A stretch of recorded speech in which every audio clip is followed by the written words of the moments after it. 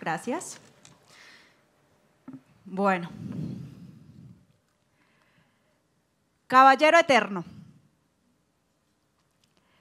Los valores del club siempre los reflejó, con sus buenos modales en el campo de juego. No en vano, era apodado el caballero de las canchas, por su forma gentil y seria de disputar los partidos.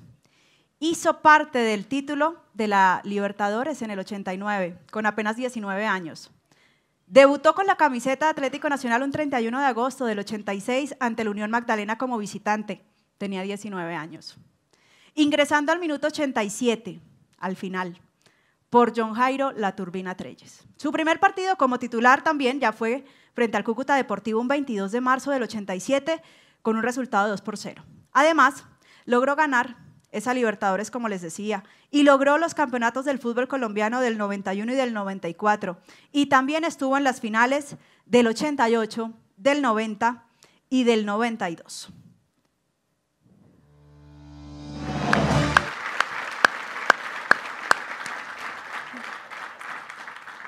De pie, un aplauso de pie, ¿no? Aquí está la familia de Andrés Escobar.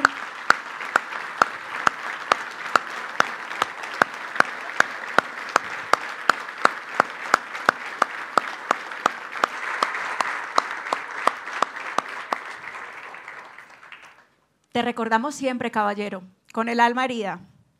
Vamos a invitar a su hermano, también ha hecho parte de la institución, profesor Santiago Escobar, bienvenido. A toda su familia, un abrazo, abrazo grande.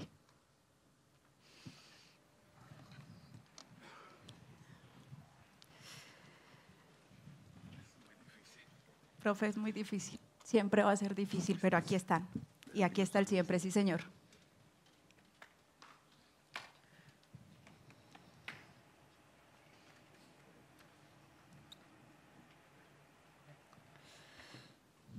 Los abrazamos siempre. Los vamos a abrazar toda la vida, pero siempre estamos con el caballero. Sheila, muchas gracias.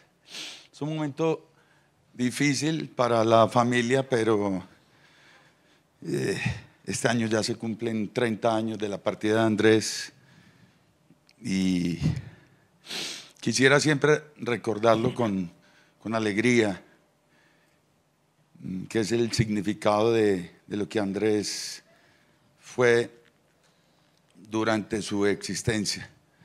Andrés era alegría, disfrute, disfrutaba mucho la, profesión. Es más, aún jugando partidos de Copa Libertadores, de selección, con Atlético Nacional, que fue el único club en Colombia donde él jugó, porque internacionalmente jugó con el John Boys de Berna, Suiza.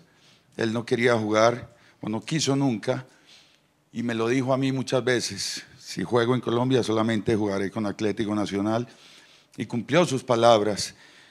Y en esas instancias de partidos tan trascendentales, de tanta responsabilidad, donde está el miedo escénico, donde está la ansiedad, donde está el nerviosismo, Andrés jugaba como si estuviera jugando en la calle pelaba esos dientes y él en un partido trascendental lo jugaba con mucha seriedad, pero siempre jugó como un amateur. Andrés todos los días jugaba como si estuviera debutando. Y quiero recordarles esto porque fue demasiado importante en, la carrera de él. A estas leyendas que, que hoy tenemos acá al lado, felicitarlos también, tanto los tres que fueron jugadores y Pacho, que es el maestro de maestros, Sabes, Pacho, lo que Andrés te quería. René, Víctor, que compartieron con él. Magnelli no le tocó, pero, pero sé que, que le tenías también un aprecio a él.